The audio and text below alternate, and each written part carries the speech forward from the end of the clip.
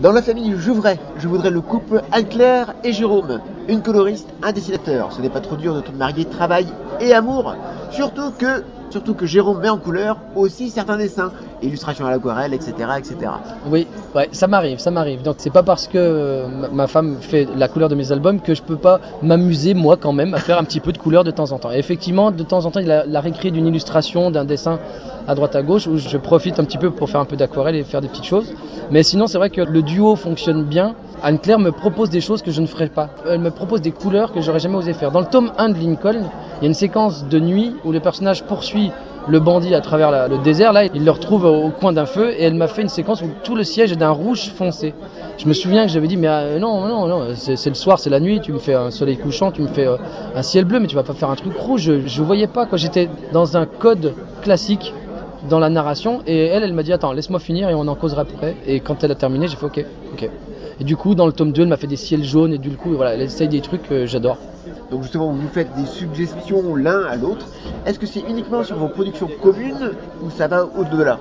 Ça peut aller au-delà, c'est-à-dire que bah, il se trouve que depuis quelques temps, Anne-Claire est quasiment associée à tous les travaux que je fais. En ce moment, je suis en train de mettre un pied dans le magazine Spirou. C'est elle qui fait les couleurs des petits strips que je fais pour Spirou. Par contre, quand elle, elle fait les couleurs d'un autre dessinateur, elle a son, atte- enfin, son bureau qui est près du mien à l'atelier, je vais voir régulièrement parce que je suis très curieux.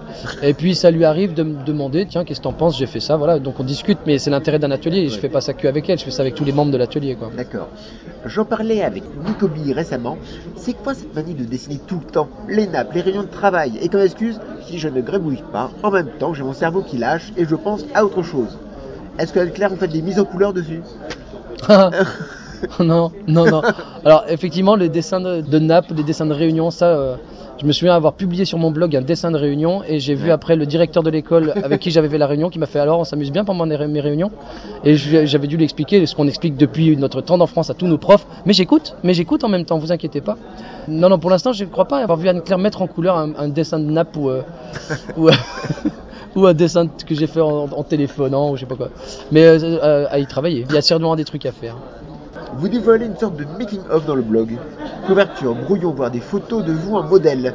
Pour montrer la complexité de la bande dessinée ou pour mettre la patience des lecteurs à mal un peu des deux.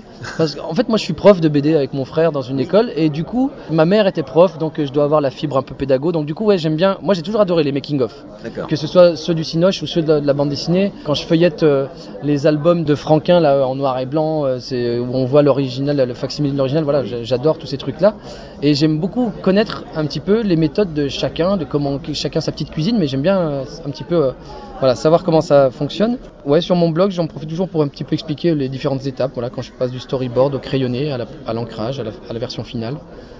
C'est des choses que j'aime bien euh, expliquer. Voilà, mon blog, je- j'en fais pas non plus un gros truc. hein, c'est euh, une petite note par semaine en moyenne où euh, je donne un peu des news de ce que je suis en train de faire et, éventuellement publier un petit dessin qui a été fait à telle ou telle occasion. Et, c'est vrai que ça aide aussi à tenir un peu au courant les lecteurs de, là où j'en suis. Et effectivement, ça sert à dire voilà, patientez encore un peu, je suis dessus. L'album sort à telle époque, tatati tatala. Mais il n'y a pas que la bande dessinée, puisque vous avez fait les illustrations des fonds DVD de Camelot. Ah oui. Alors, Camelot, la série euh, télé d'Alexandre Astier, est une fabrication lyonnaise, essentiellement lyonnaise. Beaucoup de gens de Lyon ont travaillé sur cette série et il se trouve que, voilà, par le biais d'une personne qui cherchait quelqu'un, un dessinateur, puis qui- qui connaissait quelqu'un qui connaissait quelqu'un, on m'a proposé de faire des illustrations qui sont à l'intérieur des coffrets DVD. Et là, l'idée, c'était de faire des illustrations à la manière de d'icônes peintes sur bois euh, au 10e ou 11e siècle. Donc euh, l'idée était d'adopter un certain style graphique et donc c'était du dessin couleur directe euh, aquarellé. Ensuite un gros travail d'incrustation dans Photoshop sur des photos de bois pour des effets de matière, d'usure, des choses comme ça.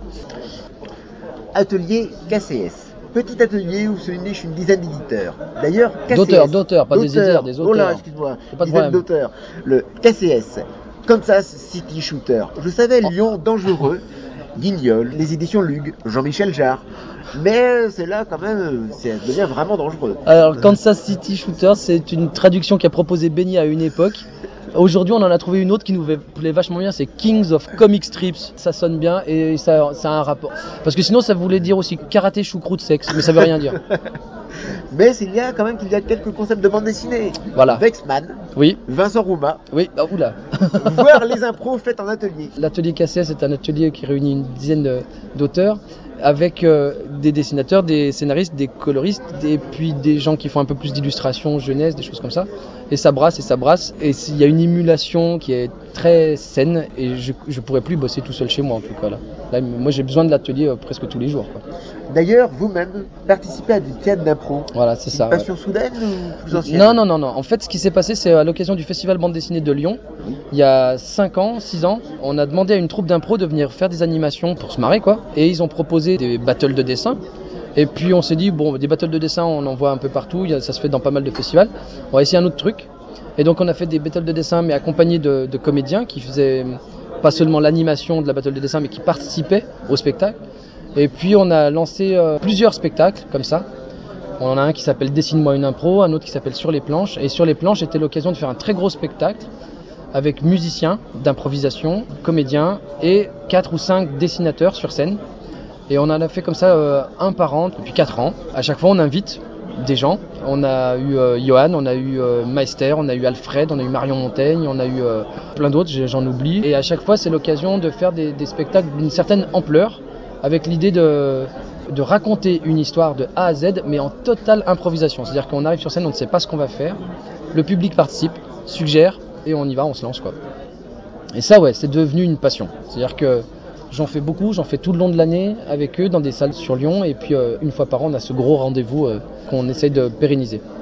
Il est difficile d'être un bon dessinateur. Entre ceux qui sont autodidactes, ceux qui ont suivi des cours, mais heureusement, il y a vos leçons Sensei. 31 leçons pour débutants. Alors je me rappelais pas qu'il y en avait 31, mais alors je me suis amusé à une époque à établir une liste des choses qu'il ne faut plus faire en bande dessinée. Avec en numéro 1 bien sûr, parce que je continue à le dévoiler euh, et j'en parle d'ailleurs dans l'atelier Mastodonte, c'est faut arrêter de dessiner un personnage qui marche ou qui court à l'amble, d'accord? Ça, ça ne n'existe pas, c'est interdit. J'en vois encore sur des couvertures d'albums qui sont publiés, on voit des personnages qui marchent, qui courent à l'amble. Alors pour ceux qui ne savent pas ce que c'est, Voilà. quand on marche normalement et qu'on avance le pied droit, le bras droit, lui, il est derrière et c'est le bras gauche qui est devant, d'accord? Les bras et les jambes sont inversés. Si on dessine un personnage qui a la jambe droite devant et le bras droit devant, le personnage marche à l'amble. Ça n'existe pas. Je ne veux plus voir ça sur les albums, sur les couvertures. Voilà, j'en vois plein, j'en vois plein. C'est qu'on le sache. et Non, non, non, non, non, non, non. À l'armée, ils font pas ça. S'ils le font, ils se cassent la gueule. Voilà. Et cette liste de choses à faire et à ne pas faire, il y en a plein. Je continue à l'exploiter, notamment en cours. Une fois par an, je leur fais bon, allez, maintenant, je vais vous faire la liste. Elle est ultra subjective. Il faut pas la prendre au sérieux, à part la marche à l'amble. Mais le reste, c'est plus pour rigoler qu'autre chose, mais n'empêche. N'empêche. Votre titre phare, Lincoln, a dépassé le support livre puisqu'elle est adaptée au théâtre. Il y a une boutique au nom de la LRD, quand même. une fresque murale. Ouais, euh, la fresque murale est à Bruxelles. C'était un trophée, ça. C'était suite à un prix qu'on avait eu à, à un festival à Bruxelles. Euh, on avait gagné comme prix d'avoir un mur. Donc on a eu un mur Lincoln. La pièce de théâtre était une adaptation faite par une petite troupe à l'occasion d'un festival à Marseille, qui avait fait une pièce de théâtre qui était euh, incroyable, super drôle. C'était euh, c'était vraiment génial. Ça engage sur des trucs, on sait pas trop ce que ça va devenir. Ah si, le truc nouveau qu'il va y avoir en 2014, et ça on Ah. attend avec impatience, c'est un, un jeu de cartes. Mais pas n'importe pas un jeu de cartes euh, classique, un jeu vraiment un, un petit jeu de société, euh, un petit jeu d'apéro sur l'univers de Lincoln. À quand le projet tout seul, à part les participations aux 24 heures de la BD Alors ça vient, ça vient puisque j'ai plusieurs projets euh, sur, sous le coude. Euh, notamment, euh, je travaillais depuis quelques années à un projet qui s'appelle Le Fond des choses, où je raconte, des histoires de patients à docteurs, de, vu de sous un certain angle particulier. Et euh, du coup, ça, je compte bien développer ce projet et, le finir un jour, puisque ça avait été publié euh, dans un magazine et sur Internet. J'ai un autre projet aussi que je traîne euh, sous le coude depuis un petit moment, tout seul, mais je l'ai pas encore plus développé que ça, et je compte bien un jour le proposer à un éditeur. Puis à côté de ça, comme je disais tout à l'heure, j'ai mis un, pied chez Spirou et je participe à l'atelier Mastodonte, qui sont donc des, strips où là je, travaille avec Anne-Claire pour la couleur, mais en tout cas au niveau du scénario, je me débrouille tout seul. Très bien. Eh bien, merci beaucoup. Bah, merci à vous, à très bientôt.